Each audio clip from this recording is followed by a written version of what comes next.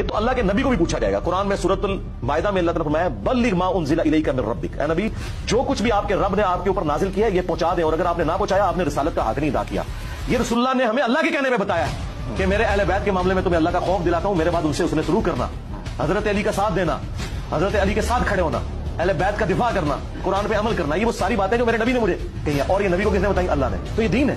तो इस दुनिया ने यह मंजर देखा है कि नबी को कबर में गए पचास साल हुए हैं और नबी के मानने वालों ने कलमे के नाम पर उसके पूरे खानदान को जबा कर दिया ये आज तक इंसानी हिस्ट्री में नहीं हुआ कि अंबिया की औलाद को नबियों की वफात के पचास साल के अंदर उनके मानने वाले उस दीन के नाम पे जबा कर दें। आप समझते हैं इतना बड़ा वाक्य हो गया उम्र ठंडी बैठी रहे। और फिर दूसरी बात जन्नती नौजवानों के सरदार हज़रत मीर माविया या उनका बेटा है या हज़रत अली और उनके बेटे हैं? तो जिन्होंने जन्नत में जाना है ना वो अली और हसन हुसैन का नाम लेंगे।